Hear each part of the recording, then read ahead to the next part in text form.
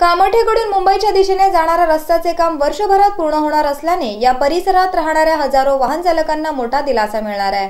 भाजपचे जिल्हाध्यक्ष आमदार प्रशांत ठाकूर यांनी सातत्याने केलेला पाठपुरावा आणि त्यात सार्वजनिक बांधकाम मंत्री चंद्रकांत पाटील यांनी दिलेला प्रतिसाद यामुळे गेल्या चार ते पाच वर्षांपासून रखडलेल्या या रस्त्याचे काम मार्गी लागलंय.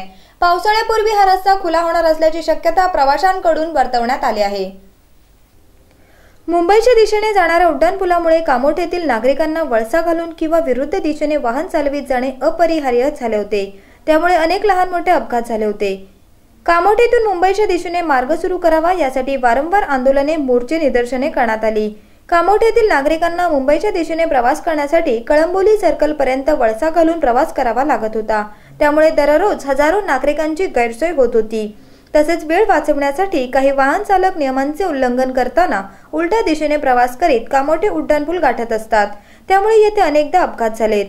मुंबईच्या दिशेने मार्गाचे काम वेगाने पूर्ण करण्यात येत असून पावसाळ्यापूर्वी या रस्त्याच्या पहिल्या टप्प्याचे काम पूर्ण होणार असल्याची माहिती सार्वजनिक बांधकाम विभागानं दिली आहे. त्यामुळे येथील वाहन चालकांना मोठा दिलासा मिळणार आहे.